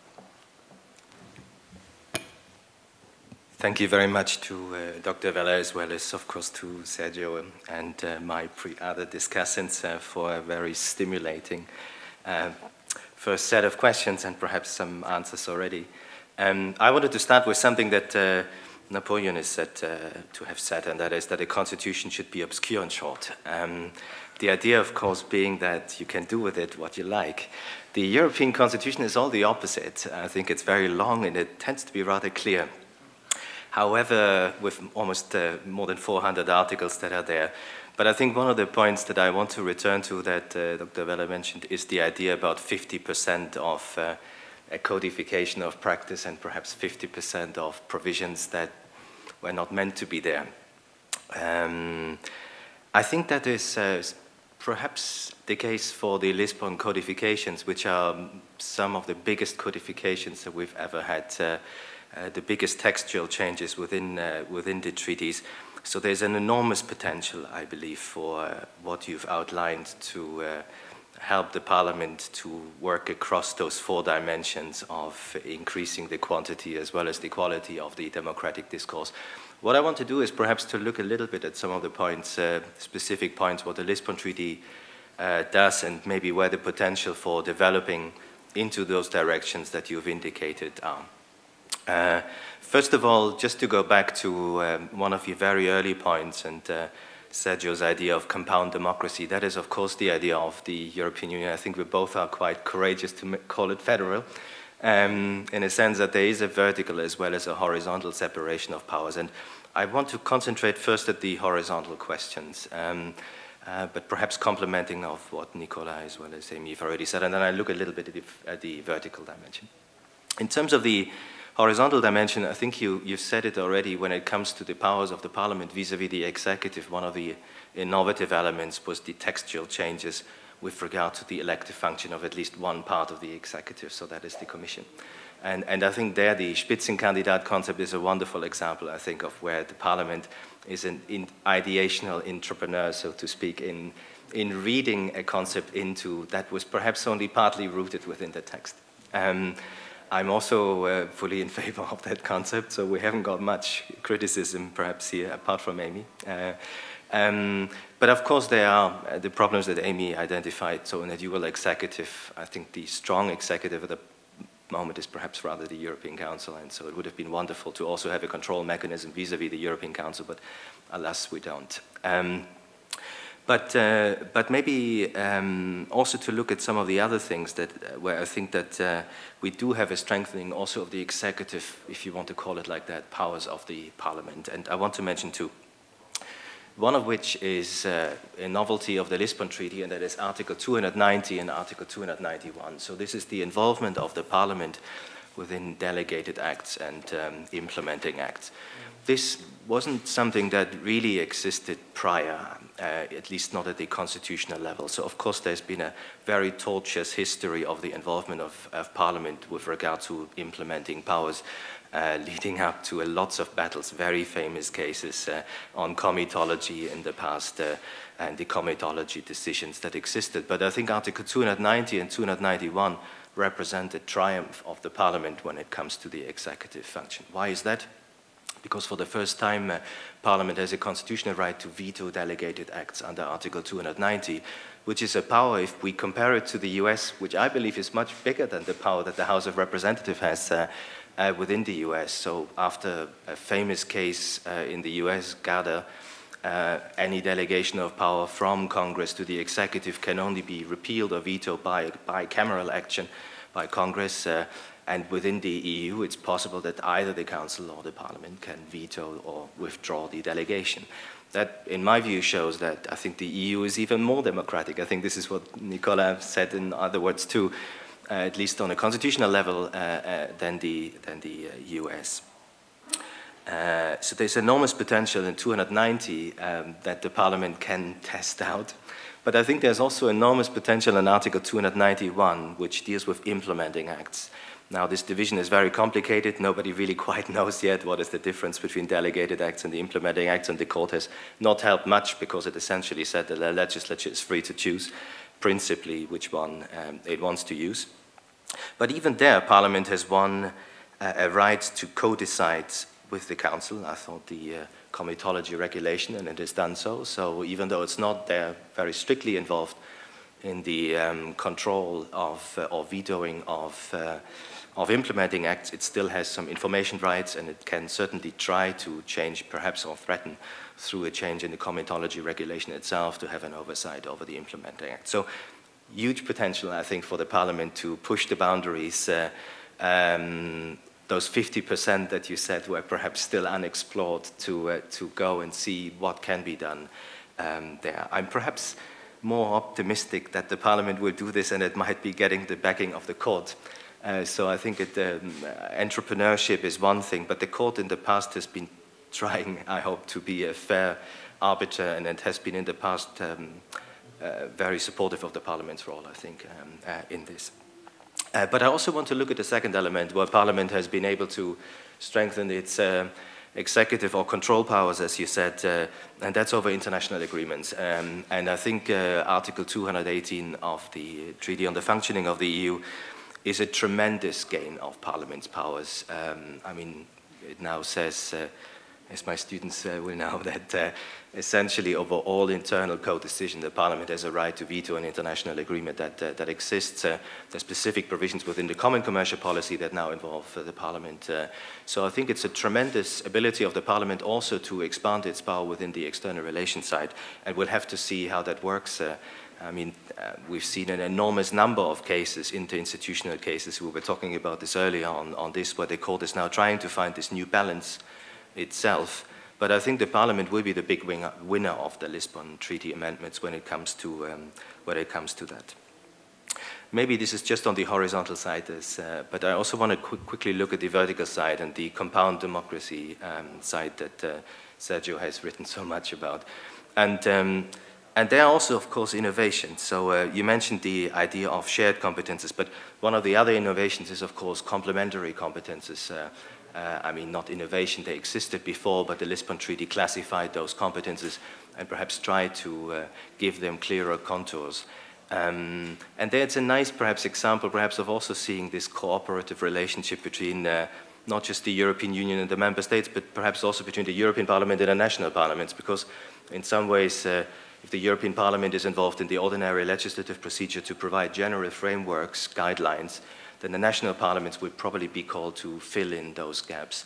I mean, another example that, again, students of course know, but it's no longer really functioning, is of course directives as, a, as an instrument of EU legislation. You mentioned it. I'm a bit more skeptical because I think in the past directives have become partly so over um, over concretes that perhaps there's very little space left. But those complement complementary or coordinating competences might be something that perhaps allows us to see this compound democracy quite nicely at work. But of course, the Lisbon Treaty has also introduced other elements uh, of compound democracy. So we had a conference on the subsidiarity principle, and of course, the subsidiarity principle is perhaps also uh, compound democracy in action, so to speak, with the national parliaments being involved in the pre-legislative process with, of the European Union, uh, having some yellow card or orange card mechanism to control the European executive. So you also see that perhaps there's a not just multi-level in a sense of two parallel levels, but also two levels that interact and, and coordinate with each other. But you also see this, for instance, in the external relations uh, side, and that is uh, elements such as mixed agreements. Uh, I think in the past, mixed agreements allowed both the European democracy as well as the national democracy to scrutinize the external actions of the European Union as well as the member state. So perhaps another nice example of those uh, compound uh, democracy uh, that we have.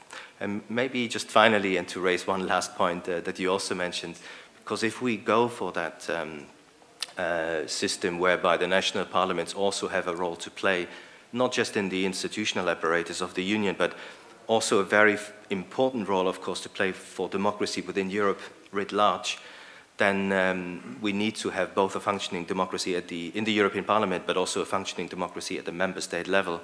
Uh, and perhaps one thing that you indirectly alluded to, perhaps, is Article 7 of the TEU, which now, of course, allows the Union to, uh, much stronger than it was in the past, uh, to uh, impose perhaps some sanctioning power uh, on member states that fail to respect democracy and human rights. Uh, I mean, for those of you who, who followed that, but uh, I mean, Poland is perhaps one of the things, uh, one of the countries that has been this subject of uh, European parliamentary debate and scorn perhaps uh, in the past. But I think this is a very important point that I think the quality of the European democracy also depends, European democracy in the sense of democracy within the European Parliament, also depends on the quality of the democracy within the, uh, within the member states.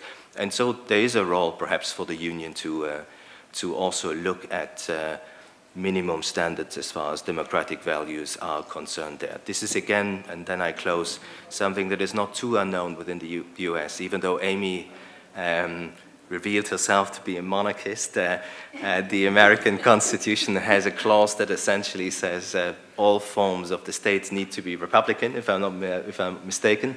Um, and uh, it, it, was, I think, originally included also to say that uh, the federal level has a chance to interfere into the internal uh, constitutional arrangements of the states so as to guarantee democracy within America, which is, I think, the same idea that we perhaps have behind Article 7. And with that, I thank you for your attention and uh, the floor.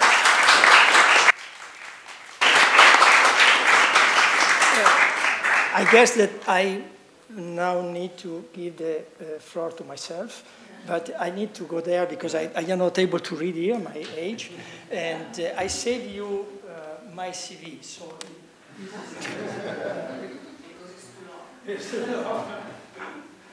so uh, let me concluding remark. Thanks very much. Um, this concluding remark um, saying first that it is difficult for me to criticize Klaus' lecture. Uh, doing that in some way, I would have to criticize also myself. Uh, and it is, it is not that I am not accustomed um, uh, to criticize myself. Indeed, I do that frequently and with pleasure, also because I do not uh, perceive to be uh, in some way violated. So I can, without hurting my feeling, I can criticize myself, which is much more difficult to criticize uh, colleagues. So it is difficult because uh, Klaus' analysis reflect a so deep understanding of the function of the EU that for an outsider, as a scholar, uh, is challenging. So it is safer for me to work or to discuss the concept, which is my own ground, uh, and more often so to work on the very concept that I try to elaborate in the very first place, this concept of compoundness, compound democracy, uh, as a model empirically based, uh, because I am a, uh, I, I, work always on, on, on the empirics of the political process more than on the normative model. uh, uh, for uh, the function of the European Union. Of course, uh, when I try to defend this uh, concept, we become friends because many, many years ago we were in Washington, D.C., I guess. We were, let's say, surrounded by people criticizing us, and Amy defended me. So this is the, the most important relation for friendship. Um, but of course, scholar, uh, uh, the good news is that scholars do not need to be elected, so we can defend our concept, right? The bad news is that frequently we get wrong, and so that we have to be careful about defending too much our argument. So why compoundness? Uh, the, I started from the idea that the EU is a federalizing polity. Uh, and my argument is that we have at least two different trajectories, let's say, or two different models of federalization. We have the model of federalization based on the aggregation of previously independent states, and the model of federalization from disaggregation of a previously unitary state. And here the two models uh, that uh, obsess my, my nights are the US and Germany, okay? And my wife is not happy of this obsession, but anyway, this is part of the game in family. So the, the, the, the relations between US and Germany, you know, US is a classical case of, of a union by aggregation, and Germany, uh, at least post-war Germany, the Democratic Republic, is a case of disaggregation of a previously highly centralized unitary state. In federation by aggregation, uh, you have different rationale. And of course, the US and Switzerland, but US is significant at that regard. Uh, they aggregate for defensive reason, not for democratizing or for distributing power, but just for defensive reason.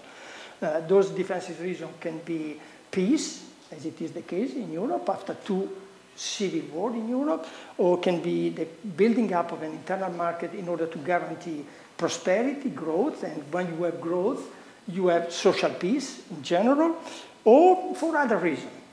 Uh, but when you aggregate, you aggregate uh, units that are uh, demographically asymmetric and they have different national identities. So the, the question for us is very different from the question that you as a German uh, had to face, or, or Carl Friedrich uh, between 1946 1948 had to face when he advised the Allied authority uh, in Germany to set up the new German constitution. For him, it was to avoid this, this Prussian syndrome, to avoid the formation of, of a land able to control and to in some way to dominate the other land. It was the, the, the previous experience.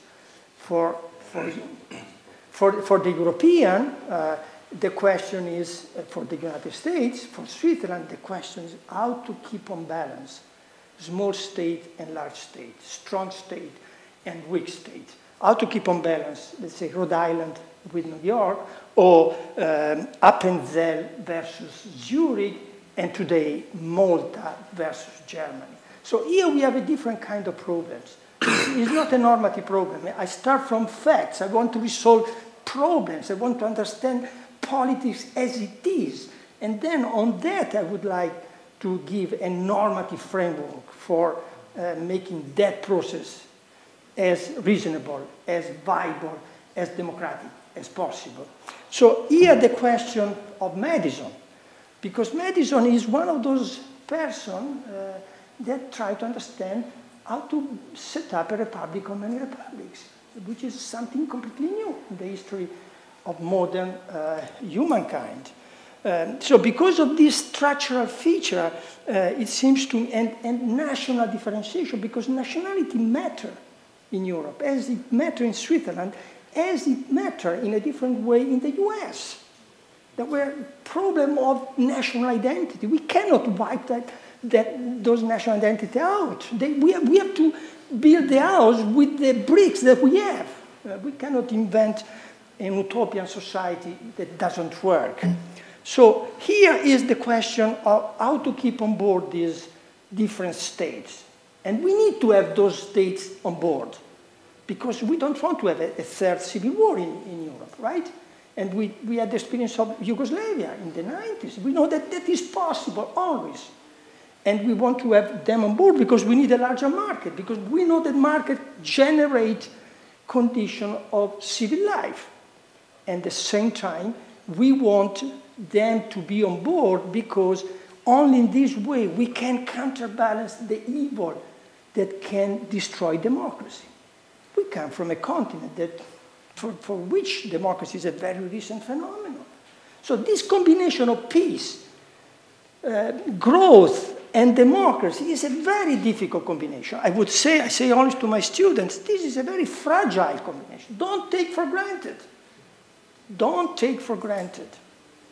This is why we are obsessed with the question of the European Union. We are obsessed with the question, which is the best architecture for doing that. And my solution is, again, is a methodological solution. Is the solution coming from the study, the work for many, many years of the debate uh, in the US, namely separation of power. Separation of power is a method. It's not a normative formula. It's a method. You can have different type of separation of power. What is important is to understand that you cannot have a union of asymmetric and differentiated state organized around a centralizing logic and centralizing institution. The Swiss found their own way for separation of power. The Americans found their own way for separation of power. They need to keep on board Rhode Island that refused till the very end to subscribe the Constitution. And we have facing similar problem. So separation of power means, in, at least as I try to develop in the book and other work, is the existence of reciprocally independent institutions, cooperating or com competing uh, each other, and jealous of their own institutional interest. they have an institutional interest. So party matter in this endeavor. However, party are matter and are useful as long as they help to bridge the separate institution. So, and I, my argument is not the party do not matter in Europe, but the partisan polity that we have in fusion of power parliamentary system is different from the role of parties in a union of states. We have to be flexible in the mind. We have to think that what was good one century ago is necessarily not good now. That what is good for that society is not necessarily good for another society. If we want to create democracy, we have to be very, very flexible. So, on that regard, I would say that I would buy a, a union of states called European Union in which government is a process rather than a single institution with the power of the last decision. Because if I am a Maltese citizen, or the, the, the small member states in Europe are roughly 20, you have four medium-sized member states and four larger states. We need also the 20, less than 20 million uh, small member states, because we, have, we need to create a situation in which there are different access to the decision-making process, in which if you lose one battle in one institution, you can have the chance to rebalance and to move and to advance your interest in another institution. But at the very end, you need to find a way for taking the decision. So the process needs to be highly negotiating process based on compromise, but at the same time, that process should be able to generate collective good that we call decision because it is like an individual. An individual unable to take decision is decided by others. A political system unable to take decision would disappear. So, but you can take decision through different modalities. That is the challenge for people like you and, of course, for us as a scholar.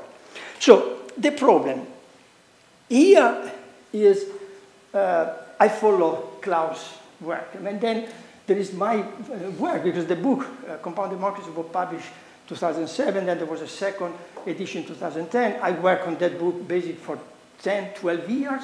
Um, great, great part of the time I spent on that book was in the US.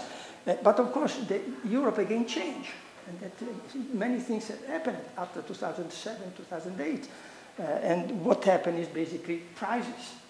Uh, and that crisis transformed in some way, affected the way in which institutions work. So what I learned from the crisis is that the, the European Union of the single market, of the regulatory policy, the, the successful European Union of Rome treaties, 1957, has been overshadowed by a different kind of logic within the same union, which is the logic coming out from national government. Why so? I try to give an answer to the why that happened. And my, my let's say, answer is that after Maastricht, we, I talked with Giuliano Amato, for example, did you realize uh, that leaving the three pillar, uh, you in de facto create the condition for a national government to play a predominant role? And Giuliano said, we were positive, optimistic. We thought that after a while, the integrative logic would have absorbed the intergovernmental decision making. But with the crisis, this kind of intergovernmental decision making indeed has been strengthened. Why so? Because the crisis dealt with crucial issue for national politics. Uh, budget, fiscal resources, uh, migration, terrorism. This kind of policy I, I, I have difficulty to think that this kind of policy can be dealt by only the Commission and the Parliament. Angela Merkel cannot give to Juncker the power to solve a problem, migration, that in some way will affect the possibility for, for her to be re-elected next October. So when you deal with this very politicized, uh, let's say, issue, I would expect national government leader to go on the front line and say, now we are the boss. This, the backstop here. Okay? So, and, and, and that tension is part of my preoccupation as a scholar, but also as a citizen, because national governmental leaders then become accustomed to take decision and to say at the conclusion of the European Council, we expect the European Parliament to do that. We expect the Commission to do that. So there is a, let's say, a decision-making body, 28 people uh, representing their own national politics, taking decision and in some way instructing the other European Union institution. I, I want to push the point, of course, Klaus, but I want to make clear, moreover, as a, as a scholar based on the idea that union of state can survive, prosper, consolidate only if they are union of equals, and if the member of the union perceive the other as equal, I am strongly preoccupied when I see, for example, during the euro crisis, that some countries, more powerful, with a more serious, coherent political leadership, nevertheless, by de facto, impose due preferences to other countries. So I found a hierarchical relation with the Union of States, the European Union, which really worry me. Because for the, we did Euro for staying together, for being friends, not for being divided. And, and that is the, in some way, but not because there is no a, a plot, as some press try to, to say in different, in different quarters of this country. There is not a plot from Berlin. It's a, it's a de facto outcome of the institutional logic. Institution in some way matter more than the actors.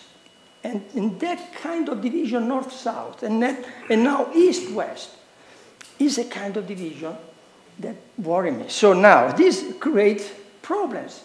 A post-compound democracy book or something like that, or try to do in which European Union.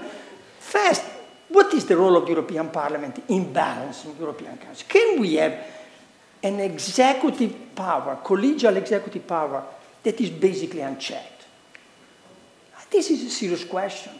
And of course, I am so happy to have the Secretary General of the European Parliament here because I can, do, I can make this request um, immediately in, uh, to face. Um, I would be happy to have Angela Merkel here for saying the same uh, question.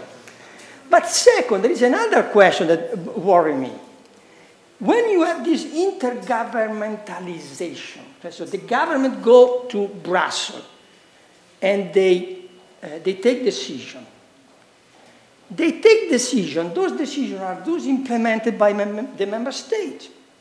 Can we imagine that the member state national parliament would oppose a decision taken by also the prime minister representing that national parliament in Brussels? So here we, we have a sort of centralization without serious boundary. This kind of problem was not there when I wrote Compound Democracy.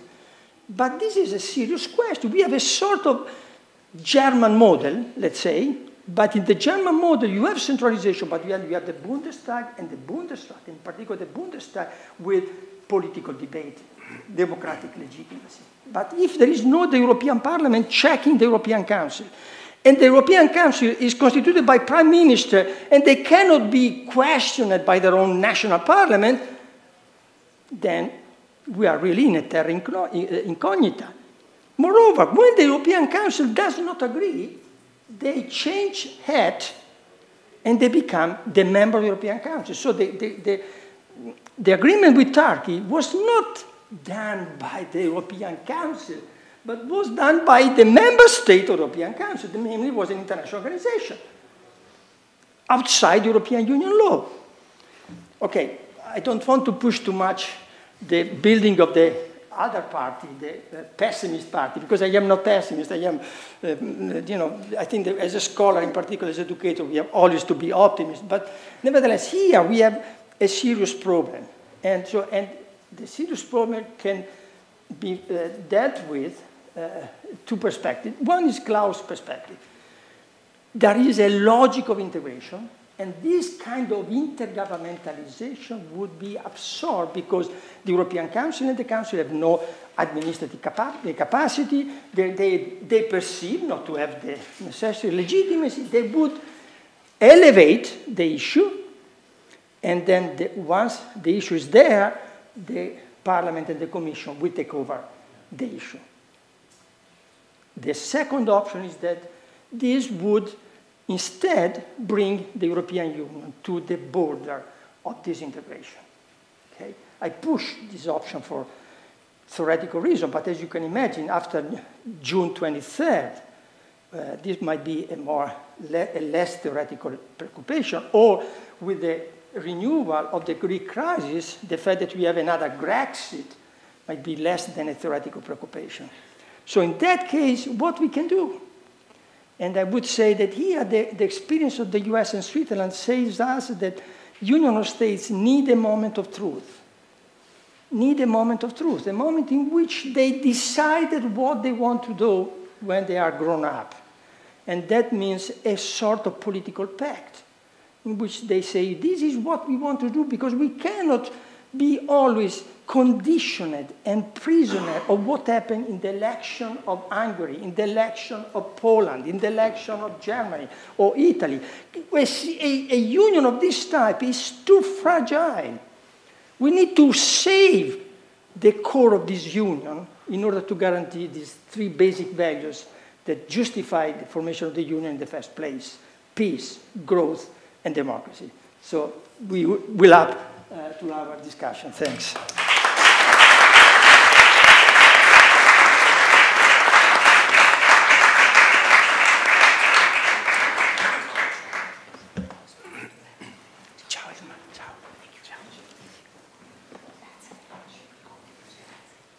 You want to say something to the, to the five minutes? Yes, okay. Yes. Okay, sorry. The, we, I, I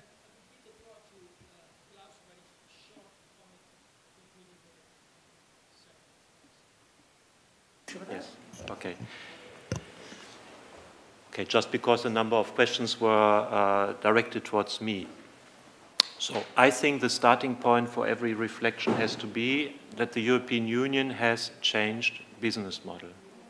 We've come from issues which were important but were more in the background now to the hottest topics. And therefore, the level of legitimacy for the system has to change. We cannot deal with these issues with the same levels of legitimacy. Uh, a presidential system, as used in the United States now to give those who believe that the Trump vision should come true, is not available in the European Union. What is available is elections for the European Parliament and the election of the Commission President. So one of the reasons behind the Spitzenkandidaten was to say we need to give some possibility for the general public to change direction. Because if you cannot change the direction of the whole enterprise, uh, then we are not living in a democratic system. And uh, this is, in fact, what has happened. Uh, because with the new commission, the direction has changed. They go for big, big on big and small and small. They have withdrawn, I don't know, about 100 uh, legislative proposals. They are focusing very much on more consensual areas like constructing uh, the digital market. So the policy direction of the Union after this election, and I would argue because of this election, has shifted. Still, we are not in a fusion of power system. Because Jean-Claude Juncker, before he was elected, made it very clear, he says, I'm basing myself on your confidence, but equally on the confidence of uh, the European Council. And partly the lead candidate was, issue was also successful because the candidate Parliament wanted was at the same time the ultimate Council insider. There's nobody who is more Council and European Council as Jean-Claude Juncker. So, in fact, European Council couldn't really complain. They didn't like it, but they had to swallow. So, in reality, uh, both priorities were uh, both priorities were um, respected. And of course, he is at the head. His position is strengthened, but it remains a kind of all-party coalition. a bit like in Switzerland, what he has in his, in his, commissioners, um, in his commissioners team. Uh, I agree with you on uh, this democratic uh, deficit issue. Uh, I have given a speech already about democratic surplus because I believe that compared to national setups, we rather have a democratic surplus on the European level when we are thinking about the possibility of members. Still, I used it to say that the European Council is regularly recreating a problem in control when they are elevating issues which up to that moment were not dealt with at the European level to the European level and uh, are not giving the competences at the same time um, at the same time to the European Parliament. The problem of cooperation with national parliaments is exactly that many of them are in a fusion of power system. So are they ready to really scrutinize the governments which are their governments or are they not? And if they are not, then the risk is that just the national government comes in a second time, but this time under the name, under the name of the national parliament. So some parliaments are very independent, but they are the ones normally with weak government, like Denmark, which has a minority government for decades. There you get an authentic view uh, of uh, the national parliament. On the delegated acts, I think you are uh, absolutely right. In the previous incarnation I, let's say, provoked the negotiation on the regulatory procedure with scrutiny. I had a friend who has unfortunately died in the meantime, was working in the Budgets Committee, and uh, we agreed that he would put all the means for the comitology, financial means for comitology meetings in reserve. So council couldn't meet anymore uh, to do comitology, so this opened the way to negotiate the regulatory procedure with scrutiny which I think paved the way for what was finally put into the Lisbon Treaty. On international agreements, I fully agree, it's huge. It's huge. The change in favor of Parliament is, is, um, is uh, huge. Maybe a last word on this issue of small states and big states. I think all systems find different ways to protect, uh, protect smaller states in the system the logical place should be on the council side. But the most recent institutional developments uh, have moved that protection elsewhere. Uh, because what has, what has changed? Um, council's voting method now is now more linked than in the past to population. So council has moved away from protecting smaller member states and is reflecting more population. So they are moving away from that. In Parliament, on the contrary, in composition, you now have a ceiling with 99, uh, but also minimum six, which was in the past five. So we have moved more into the direction of protecting smaller states and medium-sized states. And in effect, the champion for smaller member states is now the European Commission. Because in the past, bigger member states had two commissioners, smaller had one. Now everybody has one. And when you see the, the, um, uh, the reality of the Commission, have a look. Who is president of the Commission? And who are the vice presidents of the coalition? Basically, it's everybody from Benelux and the Baltic states. Um, so um, the interest of the smaller member states, I would argue nowadays, the place where their interests are really protected is through the European Commission. And I believe many member states see that they have a much better protection through the European Commission and its monopoly on legislative initiative than they have in the setup of the, um, of, uh, of the European uh, Council. Um, you gave a lot of arguments why this, the way the European Council works is potentially dangerous. Hmm? And I share them. But that's exactly why I, why I would say let's not put our money on the European Council. Uh, because it doesn't provide the institutional guarantee, guarantees which we want for our system. Uh, and therefore, I also would not put the executive function into the European Council. Uh, we had dinner yesterday evening, so I, I've been joking a bit and saying currently the executive capacity of the European Council is not enough to provide Angela Merkel with a lunch. Uh, I don't know whether you've seen this, but she had to go and uh, to a nice French place and, and have French fries. Uh, so in other words, of course, it's a bit polemical, but the executive capacity of the European Council for the moment is very, very, very limited because they do not want to concentrate any capacity centrally because they want to keep it in the 28 member states. So the executive capacity, from my point of view, has to be put to the European Commission, which, by the way, is already in full transition. Uh, for example, up to now in the area of immigration, they had, in immigration and related issues, they had 200 civil servants writing the laws. What they are doing now is they're adding 300 more to do what? Able to build tents, able to provide food, able to provide support, able to help in border control.